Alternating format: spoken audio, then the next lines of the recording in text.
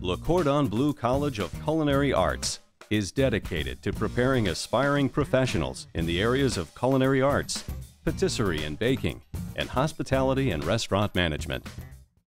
Disaster Planning and Response Art Rescue is a first responder for the world of art, providing planning, packing, evacuation, conservation, and storage for all your treasured possessions. Thanks for joining me on Fear No Art. My name is Elysabeth Alfano. Come with me as I go behind the scenes and we get into the unique and fascinating world of the independent artist.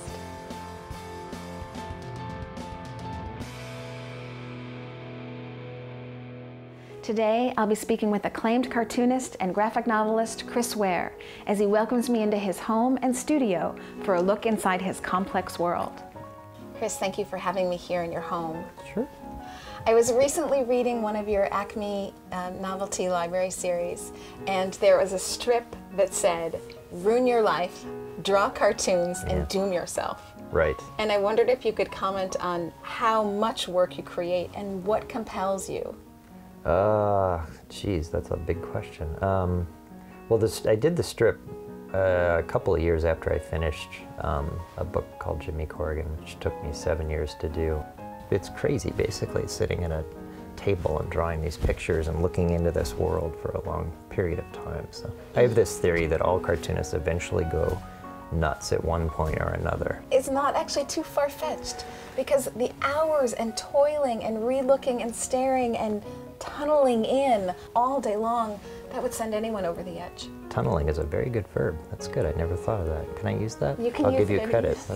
I mean, I think writers, I mean, they do the same thing, but I don't think it takes as long, and there's something about looking at words on a page that is different than looking at pictures that you've drawn. When you're looking at things that you've drawn, the feedback loop becomes that much more intense and sort of loud, I guess. I think writing, you can get into sort of a buoyant flow where you almost kind of create the, the river as you're rowing in it, but there's nothing like that in cartooning. It's like trying to live in a house while you're building it or something. It's not a very comfortable proposition. Could you talk to me about how important the layout and coloring is?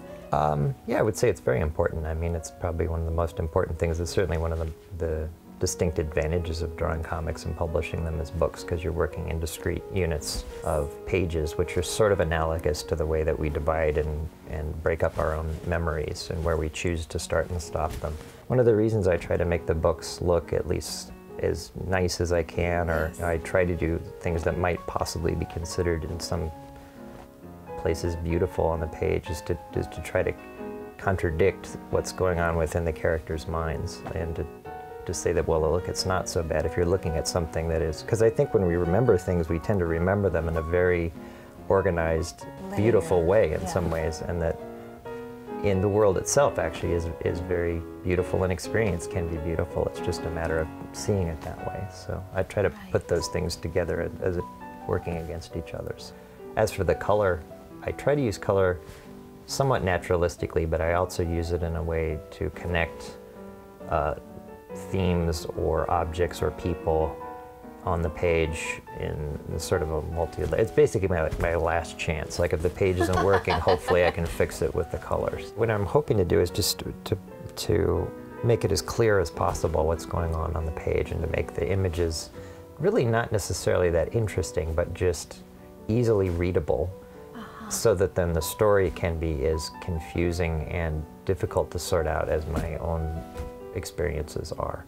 As if I had the images and the drawings be as difficult to sort out as the story, then it would be difficult to read. Most of your characters have emotional deficiencies and are still hung up on, on childlike insecurities. Yeah. And as adults, we all expect ourselves to get over this, and mm -hmm. none of us do. And so I, I feel that you strike a common chord with the average reader that they connect to this childlike insecurity that they still have. Oh, that's nice. And I wondered um, if you have any hope of how you connect with your reader. Maybe to draw out or sympathetically harmonize with certain experiences that they've had or possibly forgotten that then I've remembered by, by drawing certain stories.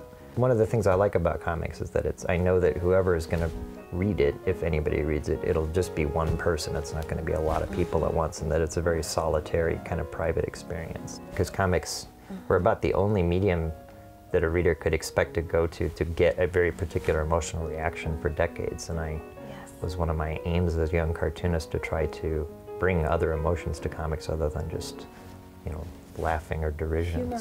So many of your characters have some of your own traits, like Rusty Brown is a collector, and as we can see around us, you are clearly a collector. Right. And uh, Jimmy Corrigan, smartest kid on earth, he has these feelings that maybe his father won't like him when he finally gets a chance to meet him. Right. And I I wondered what it's like for you to work through your own feelings on the page. Uh, yeah, I mean, I don't really think I could do anything else. That's why I do what I do, I suppose. I don't know if I could actually typify what it's like, other than it's um, I'm I'm sort of at a flat line of self-doubt. It sometimes it goes down a little bit, sometimes it goes up much higher than that. But I'm always very dubious of both my aims and my abilities. So um, maybe that comes out in the in the work. I don't know, or in the comics. I hate the word work. When you talk about your what you do, it sounds so pretentious, but. Well, it, it's uh incredible to me how you undermine, in a way, yourself and your accomplishments because you have so many. Well, I don't know. I mean, you know, I when when I look back at what I've done, I'll, I'll all I it just it looks all I can see are mistakes or the terrible drawing or like, oh, geez, this character's eye is four inches off to the side, and I just think it looked fine to me when I drew it, but now I can look back and think, oh, this is horrible, or just I'll just see right through the the uh, the lies or the or the terrible writing, and I you know, and it's I try to be as honest and and and um, distant from myself as I can while I'm writing to try to see things as accurately as I can, but it it hardly ever works. Which brings me to my next question. So many of your characters Okay. feel hopeless, Uh-huh. feel certainly lonely. So many of them feel unconnected and unfulfilled and sad and depressed and despondent. They're Oy, feeling that so. sounds so grim. I wonder, is the world that bad? Oh no, I don't think so. I mean, um, there's just certain periods at which I mean, I go back and forth between feeling that way and then feeling not that way. Especially since um, my daughter was born, it sort of answered all questions I had about life and all doubts I had. In a way, it's sort of the magic switch that needs to be flipped in a lot of us to just get out of yourself as the protagonist of the you know universe, Yes. basically. I feel pretty happy about the way my life has turned out, but that doesn't mean anything to anybody else. You know, I think Right. happiness is overrated. Actually, I don't. I mean, it's it's it's a very private sort of emotion. Well, I think the highest compliment anyone could ever get is to be loved by Lynda Barry. So she has said wonderful things about your work, and I'm wondering, do you like your work?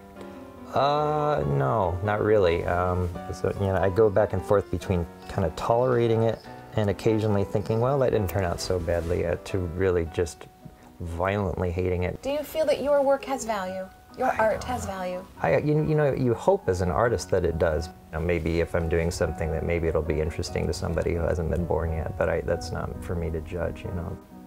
I think it's just important to be nice to people. I mean, that sounds so dumb, but it really is true in a lot of ways. I think that really when it, a lot of literature just boils down to that, to remember to be kind and sympathetic and empathetic to other mm-hmm. organisms, basically. So I don't know where else any sort of idea of civilization can head beyond that. There's an artist and a creative spirit around every corner and in a few home offices. Join me on the next No Art as we get into the unique and fascinating world of the independent artist.